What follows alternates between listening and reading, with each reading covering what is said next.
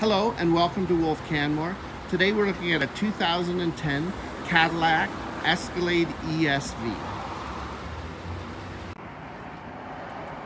And moving on to the interior of our Cadillac Escalade ESV, very nicely appointed. Cruise control, power windows and door locks. There's heated and ventilated seats, heated steering wheel, of course Bluetooth, let you have a good look here. Our 2010 ESV comes with a 6.2 liter paired with the 6-speed automatic transmission. A spacious rear passenger compartment with captain's chairs in the second row with heated seats as well.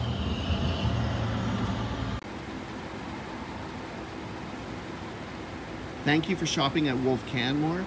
If you have any questions about our 2010 Escalade ESV, please give us a call at 403 678 4222. Thanks and have a great day.